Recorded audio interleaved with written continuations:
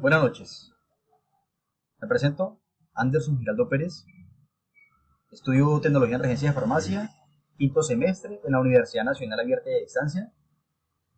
Eh, estudio el, en este curso de farmacia hospitalaria de la zona sur de Florencia Caquetá. Vamos a hablar sobre las preparaciones magistrales. Ello nos dice que es el preparado producto farmacéutico para atender una prescripción médica de un paciente individual que requiere de algún tipo de intervención técnica variada, complicación. La misión y el objetivo general es proporcionar en cualquier momento y en, cualquier, con independencia en las disponibilidades del mercado, formas de dosificación adaptada a las necesidades específicas del hospital determinado paciente. La farmacia hospitalaria tiene dos eh, fórmulas magistrales o preparaciones magistrales, como las formulaciones normalizadas y las formulaciones extemporáneas. Decir que las extemporáneas es como la, tenemos aquí en la mano, izquierda, ¿sí? esta nota, y la normalizada, la que vemos aquí en este anexo 2. La preparación maestral debe cumplir con unos requisitos mínimos, como cuáles, como una dotación, tanto en el personal como de tecnología, nuevos medicamentos y ciencia. Para la elaboración de la preparación magistral necesitamos un soporte horizontal con espacio suficiente para la balanza y que garantice la pesada. Segundo, un armario de estantería impermeable. Tercero, eh, un frigorífico dotado de termómetro de temperatura máxima y mínima para almacenar, productos termolábiles. Las operaciones de elaboración. 1. Acondicionamiento. 2. Etiquetado. 3. Control de forma farmacéutica. 4. Debe efectuarse en un local. 5. Debe estar habilitado en el interior del servicio farmacéutico hospitalario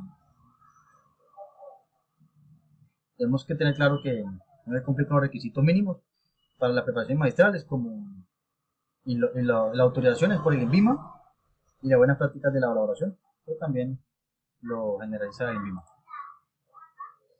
La característica del decreto 2005 del 2005 habla que la previa autoevaluación del paciente, el registro de sus condiciones de X de la historia clínica, utilizando la denominación común internacional o el nombre genérico. Los requisitos para la preparación magistral, la prescripción de los medicamentos, solo podrá ser el personal de salud debidamente autorizado de acuerdo con su competencia.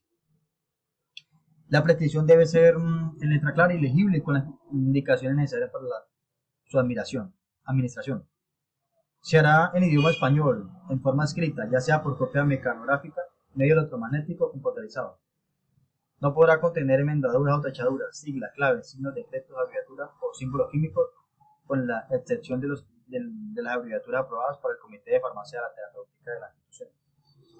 La prescripción debe permitir la confrontación entre el medicamento prescrito y el medicamento dispensado, en el caso ambulatorio, y administrado en el caso hospitalario, por parte del profesional a cargo del servicio farmacéutico y del departamento de enfermería o la dependencia que haga sus veces. La prescripción debe permitir la reciprocidad de los medicamentos prescritos con el diagnóstico. La dosis de cada medicamento debe expresarse en el sistema métrico decimal y en casos especiales en unidades internacionales cuando se requiera. Se debe especificar claramente cada uno de los componentes con su respectiva cantidad. Nombre del prestador de servicio de salud profesional con el contenido. De la salud que prescribe, dirección y número telefónico o dirección electrónica lugar y fecha de la prescripción, nombre del paciente y documentos de la identificación, número de, la historia clínica, tipo de usuario, nombre de los medicamentos expresados en la denominación común internacional, nombre genérico, la concentración y forma farmacéutica y las vías de administración. Dosis y frecuencia de administración. Periodo de duración de tratamiento. Cantidad total de unidades farmacéuticas requeridas para el tratamiento y número de letras.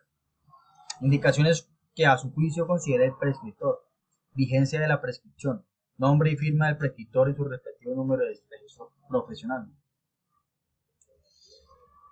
Bueno, aquí terminamos nuestro video sobre las preparaciones magistrales. Muchísimas gracias.